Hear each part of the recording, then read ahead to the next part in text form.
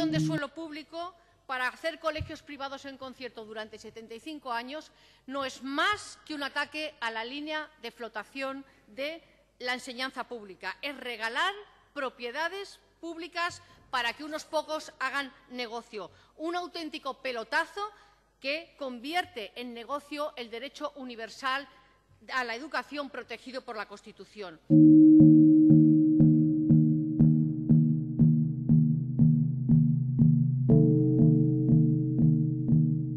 Y efectivamente hay que escolarizar a 19.000 niños y niñas que están en barracones. Pero es toda una lección de cinismo decir que esa escolarización se va a hacer a través de los centros de iniciativa social. Porque, y, y digo que es cínico porque los centros de iniciativa social no van a ir ni al barrio de la Coma, ni van a ir al Parque Alcosa, ni van a ir al Rincón de Ademuz, sino que van a ir eh, única y exclusivamente donde va a haber negocio, donde va a haber demanda en las grandes ciudades, en las grandes áreas metropolitanas. Los centros de iniciativa social, por tanto, no articulan territorio, articulan negocio, que es diferente. Tienes razón, la libertad de elección no se garantiza y nosotros queremos garantizar la libertad de elección. ¿Qué pasa? Que la gente que lleva a sus hijos a los colegios concertados, entre ellos muchos de ese sector del hemiciclo, no paga sus impuestos como los demás, es que tiene menos derechos que tiene usted. ¿Sabe cuánta, cuánto exceso de demanda ha habido para escolarización en educación concertada en la Comunidad Valenciana este año? 6.000 plazas. 6.000 peticiones más de las que hay. Supone un ataque frontal y absoluto a la red pública de escolarización y a la educación como bien público.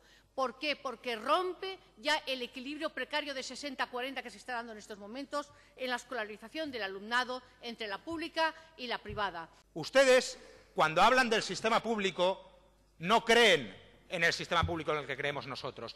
Aquí no hay ningún tipo de engaños. La gente que fue a votar las elecciones pasadas del mes de mayo tuvo plena información y nos han dado su confianza a nosotros para hacer nuestro programa electoral. Pero es más, es que esta propuesta rompe los consensos educativos logrados en periodo democrático, en periodo estatutario, entre los que están la referencia al mapa escolar y la propuesta de construcciones escolares, ya que la planificación pública de centros escolares a partir de ahora, si esto se lleva adelante, quedará supeditada y será subsidiaria de la iniciativa privada y la pública no será ofertada nada más que en aquellos sitios donde no llegue la iniciativa privada y, por tanto, no haya más remedio que construir. Nosotros creemos que la gente que paga sus impuestos tiene derecho a llevar a sus hijos a donde les dé la gana y no tenemos que explicarles nada no nos tienen que explicar nada de si decide llevar a su hijo a un colegio concertado por motivos ideológicos, por motivos religiosos, por los motivos por el proyecto pedagógico o porque le pilla al lado de casa. Conforma un país con dos velocidades,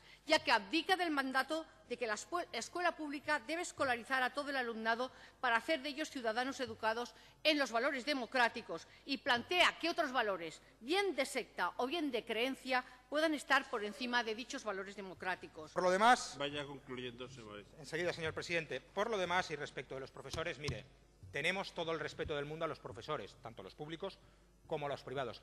Todo el respeto del mundo.